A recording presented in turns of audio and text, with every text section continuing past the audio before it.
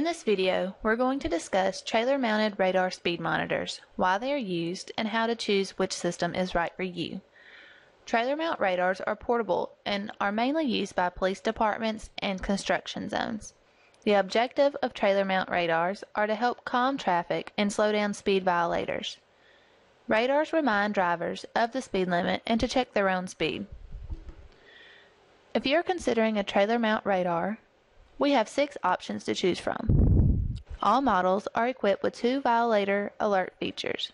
One is the overspeeding violator flashing alert, which indicates the driver is speeding by the digits flashing. And the other is the overspeed blanking violator alert. This just means that the screen goes blank, which is to prevent drivers from attempting to drag race. So now I'm going to walk you through the comparison chart to help you determine which system may be right for you. These first three radars are heavy duty trailers, which are more durable and tend to have a longer lifespan. Since they are heavy duty, they are equipped with a swivel jack that easily raise, raises and lowers the trailer to help level it. All three of these have diamond grade signs, which makes the reflection of the sign greater. The only difference in these three is this model, the, the 2000 R18, has a winch that folds the radar and sign down, and it has a see-through trailer design.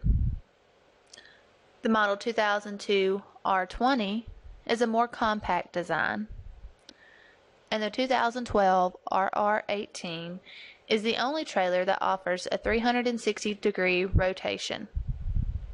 All three of these trailer mount radars would be a better suited for interstates or highways where there is heavy traffic and greater speeds.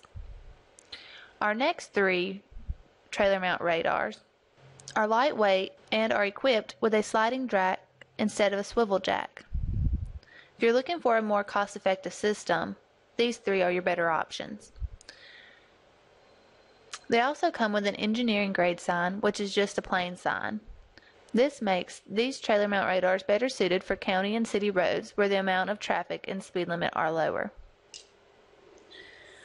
The differences between these last three are the solar watts, the character height, and the battery amps. The LT ER18 and the LT ER16 both have solar watts of 40, while the LT ER10 has a solar watt of 20. All three differ in the character height. Character height is the difference between the top of the digit and the bottom of the digit. LTR18 has a character height of 18, LTER16 has a character height of 16, and the LTER10 has a character height of 10 inches. If you are environmentally conscious, the LTER10 was built with you in mind. It is designed to use less energy without compensating for quality or features. It has a 20 watt solar with only 10 inch character height and only an 18 amp battery. This model has a third violator alert feature that the other models do not have. This model is equipped with an LED strobe light violation alert that draws the driver's attention to the speeding violation. It is located in between the two digits right here. Each model has options available for them, including KPH, Bluetooth for wireless downloading of traffic stats, motion alarm, and much more. Once you find the model that's right for you, click to go to its products page. Scroll to the bottom of the page till you see options.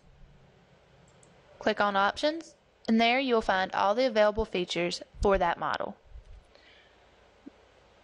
Thank you for watching this video on our trailer mount radar speed monitors.